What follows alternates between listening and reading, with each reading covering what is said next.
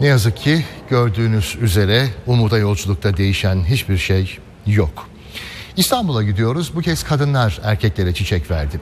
İstanbul Gazi Osman Paşa'da şiddete hayır diyen kadınlar cuma namazı çıkışı erkeklere gül dağıttı.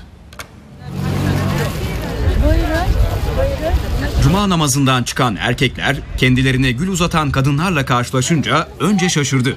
Ancak şaşkınlık kısa süre sonra desteğe dönüştü. Dünya için el ele e, uğraşalım diyor. Var mısınız? Varım her zaman varım. Her zaman. Kadınlara da kalbimizde her zaman varız ya.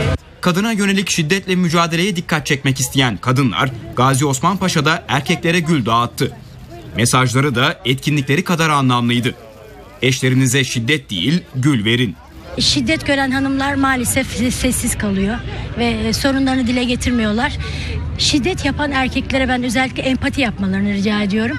Çünkü aynı şekilde e, hanımı olsun, kız kardeşi olsun, annesi de aynı duruma maruz kalabilir. Hanımlarımız birer çiçektir biliyorsunuz.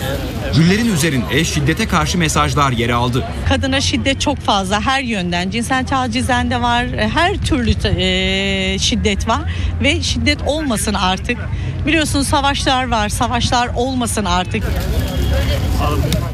Etkinlik Gazi Osman Paşa Belediyesi'nin öncülüğünde yapıldı. Maksadımız farkındalık oluşturmak, kadınlar adına kadınların sesini duyurmak.